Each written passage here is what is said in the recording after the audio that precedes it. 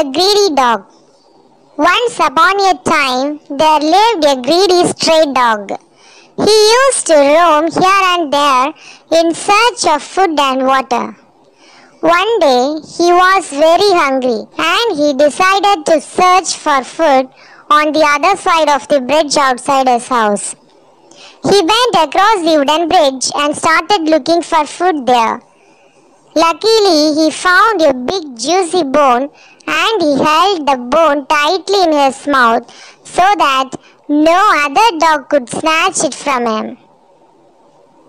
As he was about to eat the bone, he thought to himself, if any of his friends saw him eating there, he might have to share it with them.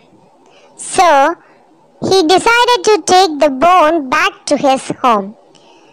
As he was crossing the stream, he looked into the water and saw another dog holding bone in his mouth.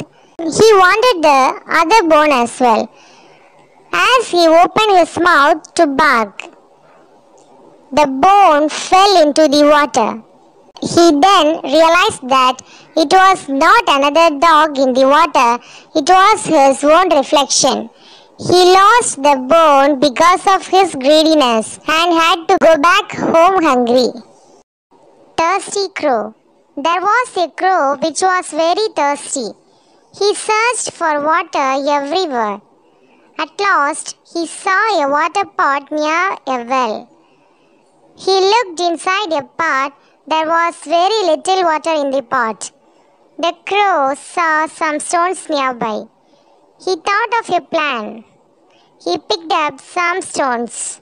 He put them one by one into the pot. The water level in the pot came up. The crow drank the water and flew away happily. இதே போல நிறைய videos பார்க்கணுமா ஆர்வை சேனலுக்கு subscribe பண்ணுங்க மறக்காம பக்கத்தில் இருக்க bell பட்டனையும் கிளிக் பண்ணுங்க